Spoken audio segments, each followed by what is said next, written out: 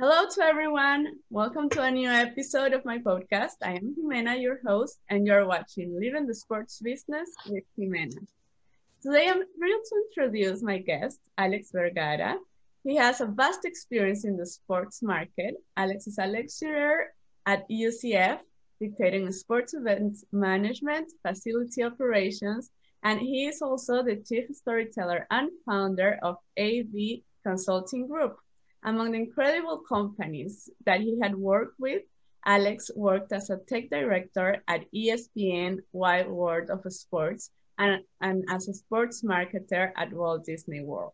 So, hello, Alex. Congratulations on your amazing career and thank you for coming on. How are you? Good morning. Good morning. um, from a very nice and warm place here in Orlando, Florida. Yeah. So, wherever your listeners may be, um, come on down to Florida. Everyone else is. yes, a nice place to be and warm. okay, Alex. So to start, can you first tell us how did you get into the sports business? Like, how did you start your path, your path here in this market? Well, uh, I've always um, had a great um, interest and passion in, in the business of sports. Um, and in college, I had an opportunity to work in the athletic department where I went to school at the University of Florida. And that's really where I caught the bug.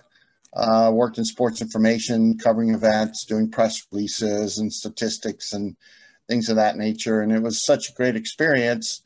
Um, and I combined that with my broadcast degree and then, you know, graduated and took a job in a retail sporting goods company and continued to work as a statistician for uh, TBS, the Atlanta uh, network, and um, so I got to watch SEC football. I worked in a minor league basketball organization, and I really missed the college space. So I went, came back to Miami to work at the U, the University of Miami. And um, you know, each step of the way is a little different. People said, "Well, you graduated from Florida. How could you work at Miami?" And I'd say, well, I'm a professional first and foremost. It's a great program, and I still have a lot of friends there and, and follow them very closely along with the Gators. Um, and then just had an opportunity to come to Disney. I was speaking at an event. I was a keynote speaker, and they were starting at that time the Wide World of Sports. It's a long time ago, probably 20, almost 25 years. And uh, they they were there recruiting for people and they said, Hey, we're building this sports complex. Have you, have you even heard about it? I hadn't even heard about it. And are you interested? And I said, Sure. And next thing you know, I'm, I'm working for at the happiest place on earth, working for a six foot mouse. Oh, wow. That's amazing. And you have an amazing career, as we've talked. So you started in the 80s in the sports market. Have you seen any change in, in oh. the industry? Yeah, the industry is definitely becoming much has become is and will be continue to be very very more sophisticated. There's a tremendous emphasis on a whole bunch of new spaces. Analytics didn't exist. Uh, branding was very rare. Everything was was pretty mom and pop at that time. Uh, it's changed tremendously. Even the the sports info is now considered uh, an old term. It's now considered uh, uh, strategic communications for athletic departments. So the games on the field have changed, the viewership habits has changed, the consumer habits has changed, as well as the education of what people are getting. Uh, when I was in school, these degrees that are now numbered in over 200 didn't exist. There was one or two. Ohio U, for example, had one, and and a couple other places. But now there's, you know, tens of thousands of people wanting to get into this business because they enjoy it uh, they they have a passion for it and they think they can do a good job. But it's uh, it's it's a really seminal point now though with COVID and everything. And I think we're uh, the sports like everything else is reevaluating where it stands and what it's doing and how it's doing it in the future. Uh, so we're at we're all at a very critical uh, pivot point, as I like to say, for the for this industry. Uh, that's going to challenge a lot of its assumptions moving forward. And what has been your best lesson during these years with the sports industry? Um, my best lessons is, um, gosh, that it's a business. You know, if you're just a fan Mm-hmm. Oh, I like sports. I watch ESPN. That's okay. I still do that. But I, I'm really a fan of the business.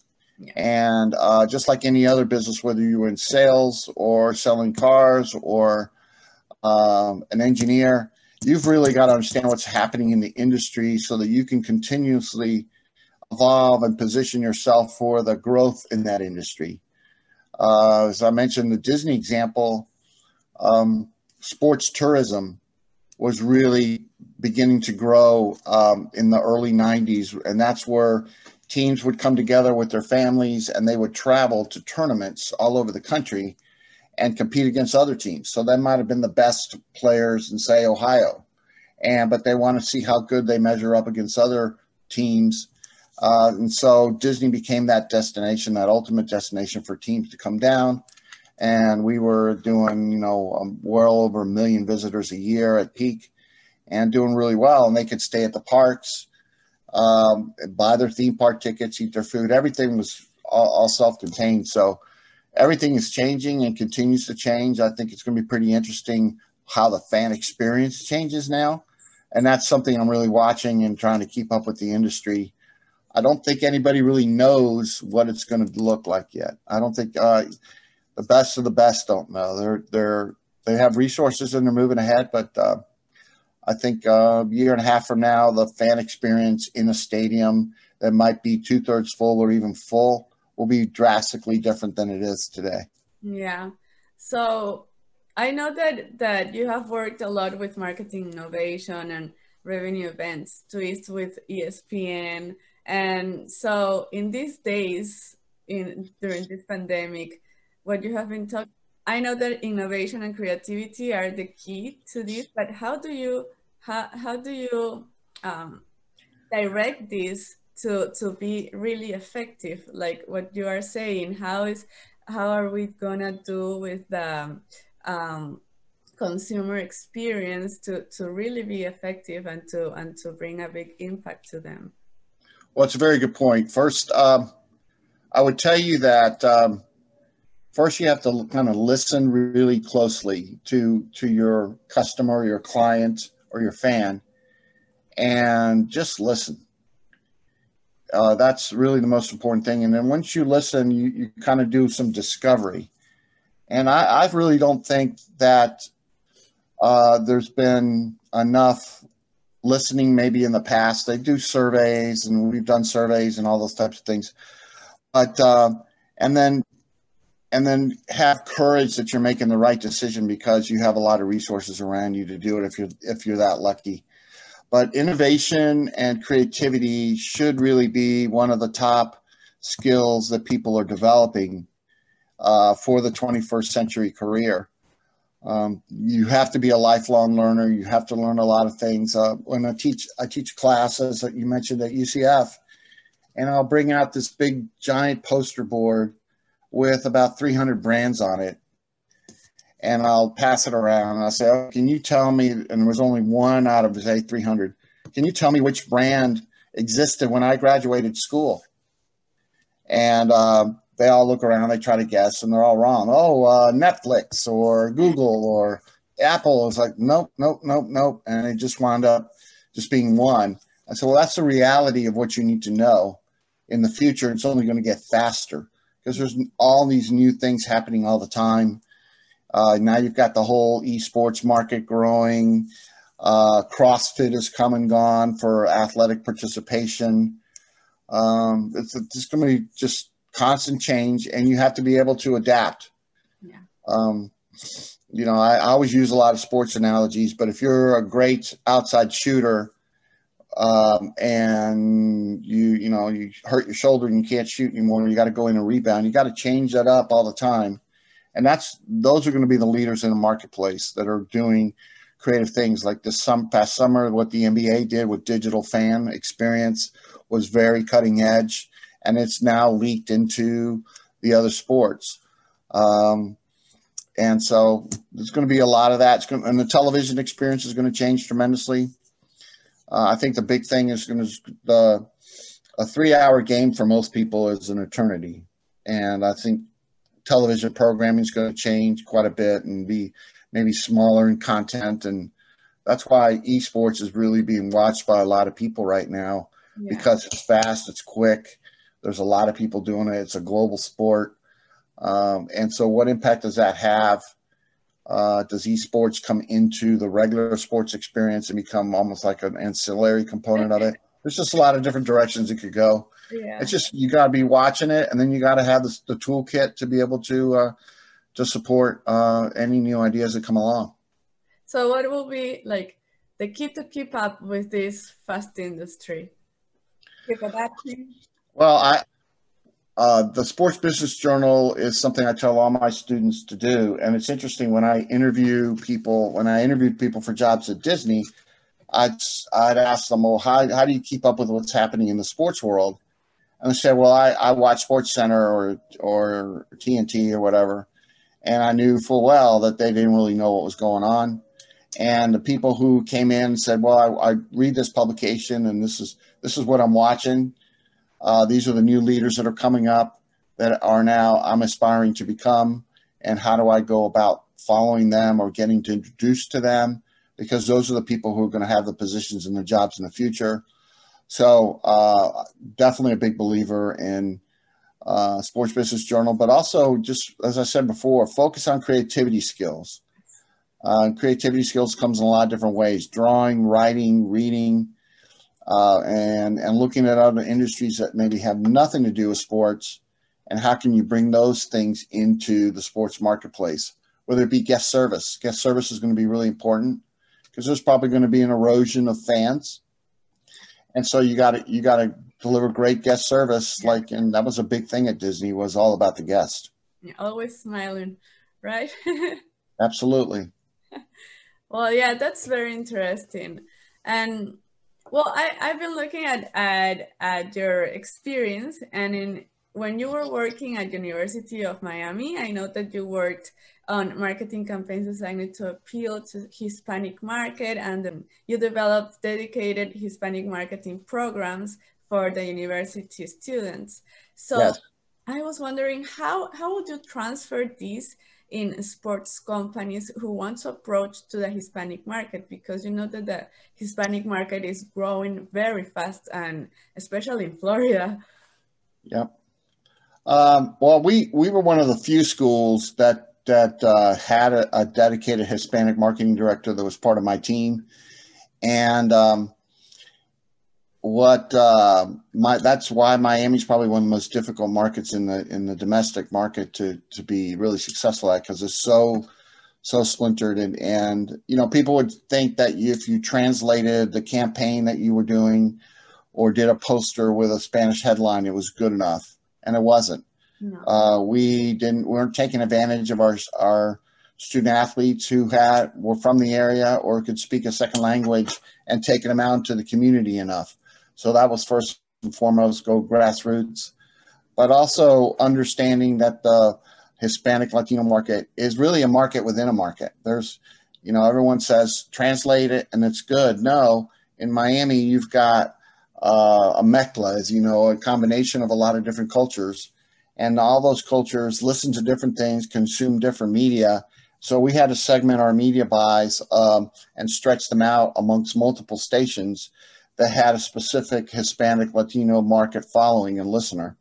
And those were things that we implemented that seem obvious now, but at that point in time, being one of the few, the administration at the time was not doing that. We brought those kind of things in uh, to the program, and we were trying to build basketball uh, at the time, and we were doing really well in baseball. Miami baseball has a very solid program, and they had a very strong following of Hispanic fans, and so we talked to them and go, "Hey, how can I get this this this fan passion into basketball?"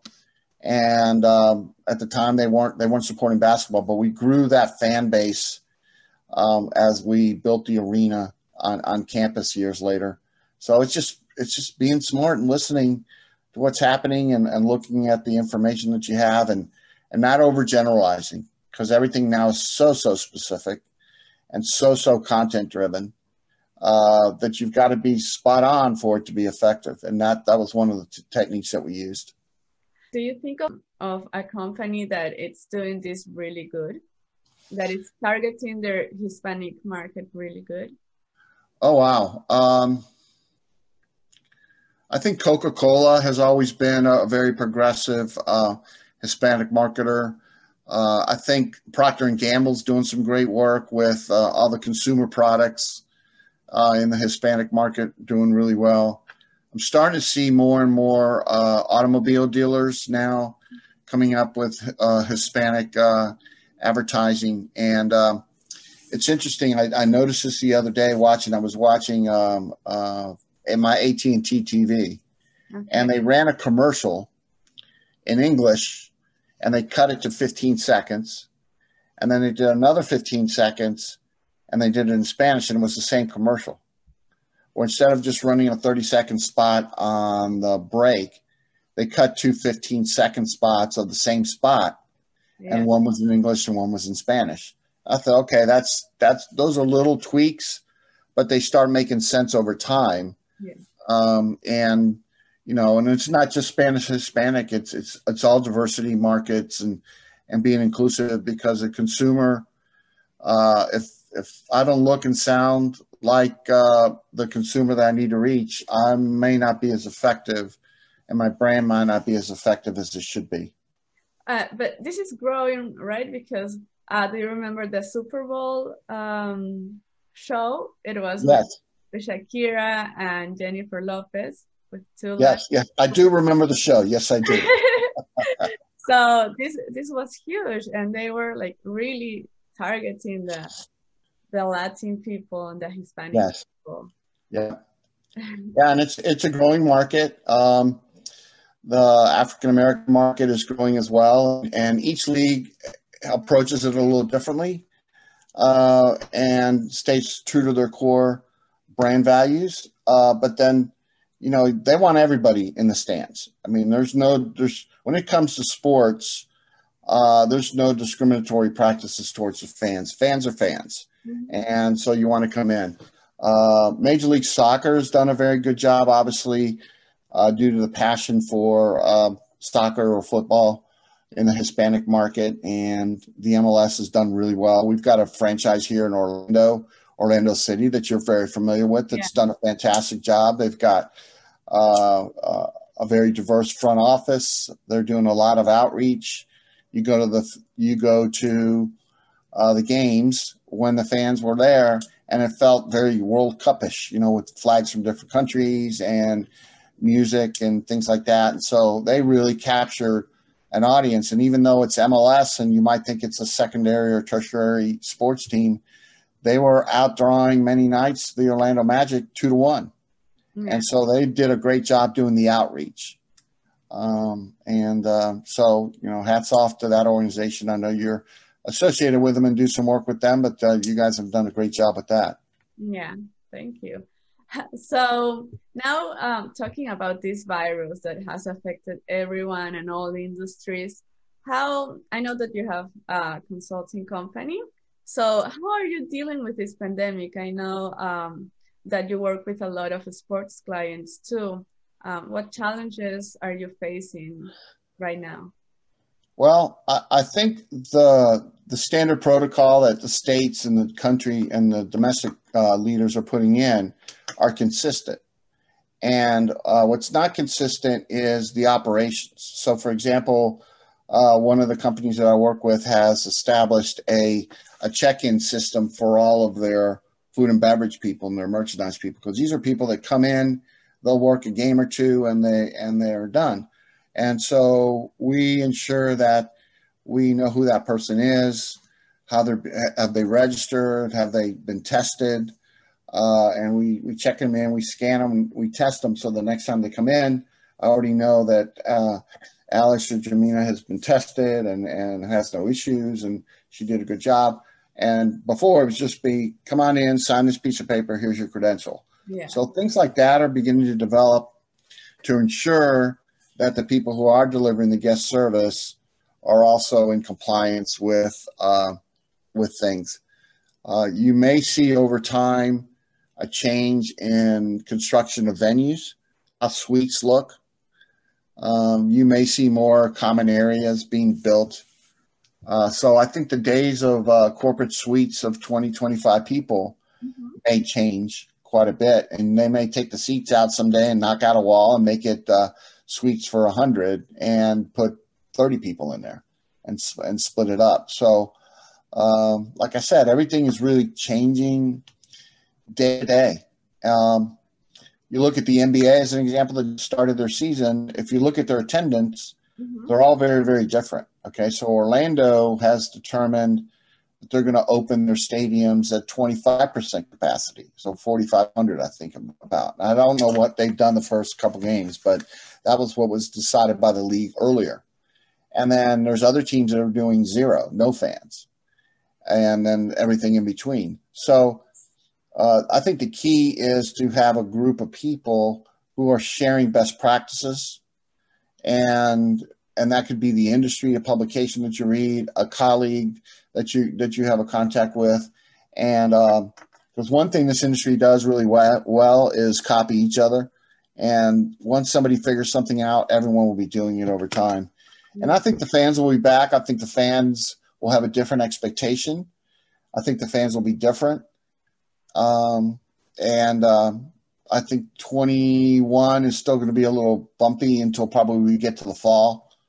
And by the time we get to football season next year, mm-hmm. we'll have gone through the NBA and Major League Baseball, and then football, which is the biggest crowds, will then really start settling into what it's going to look like because this year's football season was very up and down with the cancellations and things. So yeah. it really is the wild, wild west right now. It really is. And I think there's a lot of experiences and fundamentals that come from pre COVID that will exist forever. Good guest service, good follow up, uh, good pricing, good good value on your what you purchase as a fan, and uh, those things aren't going to go away. But now, when you come into the into the stadium with your family, my expectation is different. Like for example, we went. It wasn't a sporting event. We went to a fundraiser. My family and I went to Give Kids the World on Saturday. Okay. And it was all the lit, lit up how homes and everything like that. It was a beautiful. So 75 acres of lit up how homes and things like that. And it's a they were able to raise over a million dollars, and now they're going to reopen the Give Kids World, which is fantastic. Wow. But that experience was very different. They made it a point to to really the first when you get there, the first experience that you have is the, is the check-in experience, is the the safety protocol, and they knew it and they did it well, and it was very organized. So you get a sense of comfort when you walk in, right? Oh wow they did this right or they didn't let anybody sneak through. All those types of things will influence the consumer. Because if i'm standing there i'm bringing my family in and i see somebody walk right through or sneak in and not go through the protocol or come in without a mask you know what? I'm going to go hey that's not that's not safety. So the fans will tell the owners that they're not doing it correctly. And so the owners don't want to hear that or the teams don't want to hear that so they they're they're getting it right and so everybody's being handled the same way and social distancing is in place. Even even where people are eating food in the stands the minute you pull that mask down to grab something to eat and you talk a little bit and have a drink and you get comfortable with that they've got people that are walking around. In the old days that was guest services people making sure they were delivering great service. Yes. now it's around the protocol hey put your mask up over your nose. So i think those things are going to continue for the foreseeable future I don't see that changing. Teams will get better at it and uh, make it so it's not so intrusive to the fan experience. Right now, it's like, hey, get your mask on. Yeah, it'll it'll feel a little softer, and people's uh, expectations will uh, will change with it, and behaviors will change. Yeah. But uh, it's it's going to be an interesting. Uh, if people if people knew the answer, they could fast forward, say, two years, and see what this is going to look like it's to be pretty interesting. Television is going to change as well, streaming and yes. highlight packages and all that kind of thing. So we're we're in. This is a a lot of people get discouraged because there has been a lot of layoffs in the sports world, and a lot of people are graduating, or longtime people are being let go. So there's a lot of talent out in the space right now that are looking for roles, and there's a lot of young talent getting started. And I would tell you that both sides of those of that um, trend are discouraged because there's no jobs being hired but that doesn't mean you stop networking. That doesn't mean you stop doing things like this. uh, continuing to grow your network. Those things are vital. That will never change. The, the, the network that you have and that you're building, uh, whether it be at your work or whether it be at a convention you go to or whether it be on a on a board, all those things are key and will not change. It's not like all of a sudden you're going to be able to go reach the top of the space with nobody knowing who you are. That's not going to happen. That's true. Talking about this networking and and having your your relationships on. So, what do you know? What is the key to build these great partnerships when when you have worked at ESPN or even in University of Miami as director of marketing? What is the key to to build this great partnership with your sponsors? Well, I think first and foremost, to build the relationships, you have to always be selling, selling yourself, mm-hmm. selling the property that you're selling, selling the features and benefits of your product, always be selling. A lot of people say that, well, I'm not good in sales. I want to just go in the back room and do analytics. No, you're selling yourself. You're selling your ideas. You're selling the numbers that you think are right to your leaders. So, um, Daniel Pink, who's one of my favorite writers, wrote a book about a year ago, and the title was To Sell is Human. So think about that for a second. To sell is human. Well, if you're a human, guess what? We all are, right? Most of us. you got to be able to sell, whether it's selling yourself to get into college, whether it's selling yourself to get into grad school, whether it's selling yourself to get that first job as a barista, or to, to sell yourself to become the vice president of marketing for the uh, Orlando City. Mm-hmm. You got to always be selling. So that's first thing. And then when you sell, really manage the relationship uh, and exceed the expectations. Call them up when you don't. Um, they might not. You might not even need anything from them, or you might read an article that really uh, resonates for you, and you think of that person. Hey, I was reading this, and I remember the last time I got with you, we were talking about what you were doing with the fan experience, and this article had three or four things. I thought it might be interesting if you got it. So it's not costing me any money.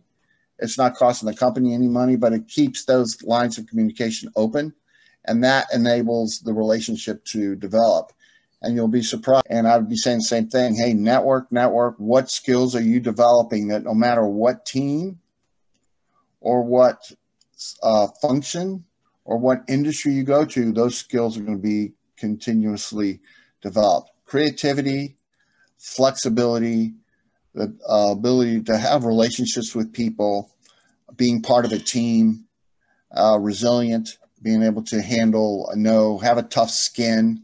Those are things that you, uh, if you have possess those things, mm-hmm. you're going to be successful no matter what you do. That's right. And then if you can right now, how is the event programming going on? I know that you know a lot about this because you have a lot of experience in this.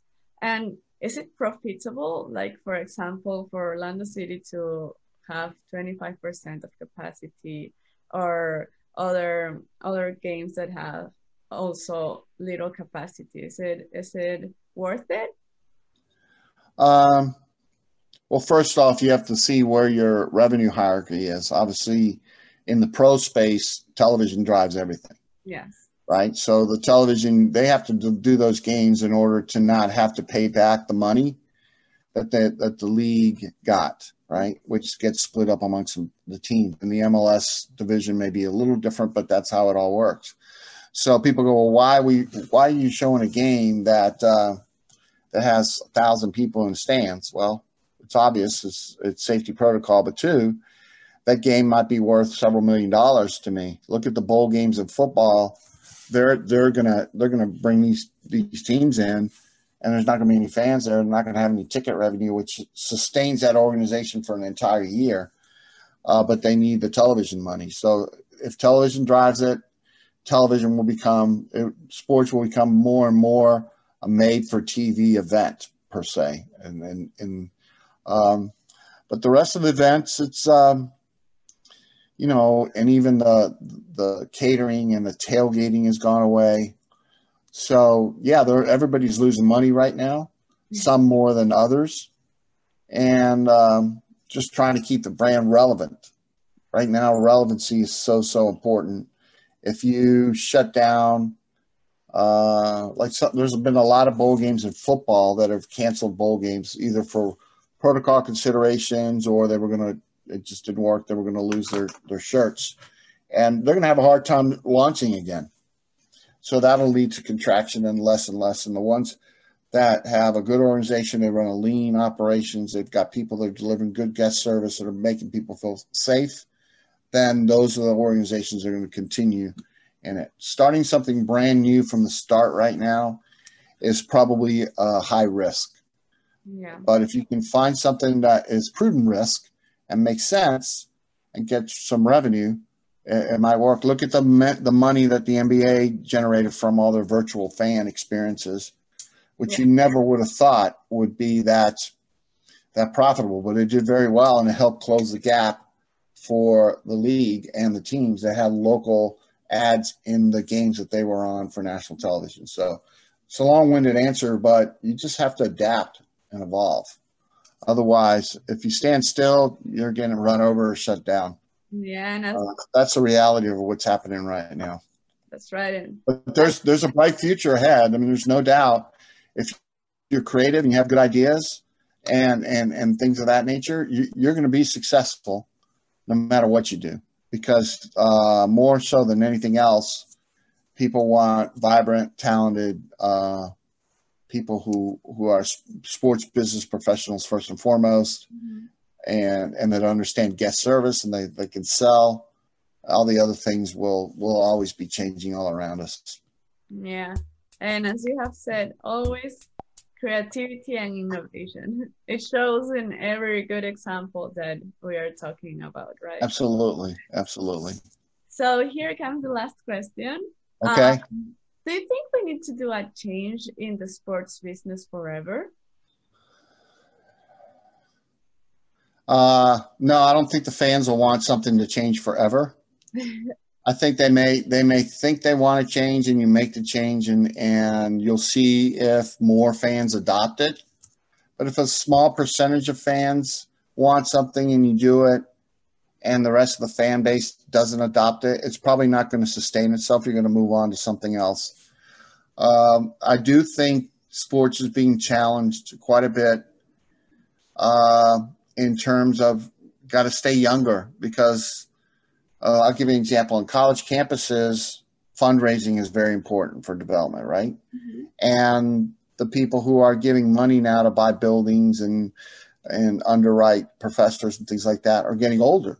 Yeah. So they want to keep their money now so they can retire and, and move on. So now there's this big gap between the big money people that are older that have been given money for, for decades to now the next rung of folks that are coming up mm-hmm. and maybe did not have as much of an association with the university. Um, and so now they're they're trying to get them up to these levels, but they don't have a relationship with them. Yeah. And so um, you know, it's just staying relevant and adapting and changing. And I think one of the key that's probably why e, uh, esports is growing so big on with many teams is they think that's a way to get the fan interested in my sport and then bring them over to come to the games. Uh, so you're seeing more and more esports venues being built in suites um, and in-game experiences, things of that nature. So keeping them keeping them younger so that they can become fans for life and you can increase the value of the fan in your in your business forever uh, or as long as they're around that's really really important it can't be a one and done otherwise you're not going to sustain yourself yes that's true. And right now a lot of um, like for example so professional soccer teams are sponsoring these gamers. So so they can bring their fans to the team too. So yeah it's, yeah it's a crazy and amazing business how how everything links right? It does. It does. It's uh i mean it's changed a lot. There's things that uh weren't being done there's things that were being done that have stopped um and it's just like everything else you know? Uh, new stuff comes along and it captures the attention and the interest of the fan and the fan flocks to it. Yeah. It's just that's just the way it is. Um, you can't stand still. You can't stand still especially now. That's true. Uh, so 21 is really about being prepared for the rebound. I was just reading something about some, uh, um, you know how right now they call 2020 the year that never was? and uh, 2021 is going to be the best year yet. And if you think of that, the best year yet, it doesn't say the best year ever. Yeah. It doesn't say the best year of all time. It's just the best year yet, and we better be ready for the yet. Yeah. Sure. so, um, Alex, we are gonna do this new section. It's a ping pong section. So, ping pong, okay. Yes. So I'm gonna tell you some words and just tell me whatever comes to your mind. Okay. Okay. Yeah. One word. Okay. So storytelling. Entertaining. Sports business. Dynamic. Sporting events during COVID. Flexible. Best sports business example. The NBA. And future of sports. Who knows? oh, that's right. Well, Alex, thank you so much for this opportunity of interviewing you today. I hope yeah, I've enjoyed it. Yeah. You've got a nice little show going. Yeah, thank you. And I hope you I hope the best for you and, and everything that comes. Okay, so this is all for today. Thank you for being here and watching us and listen to us. Um, I'm Jimena. Go team.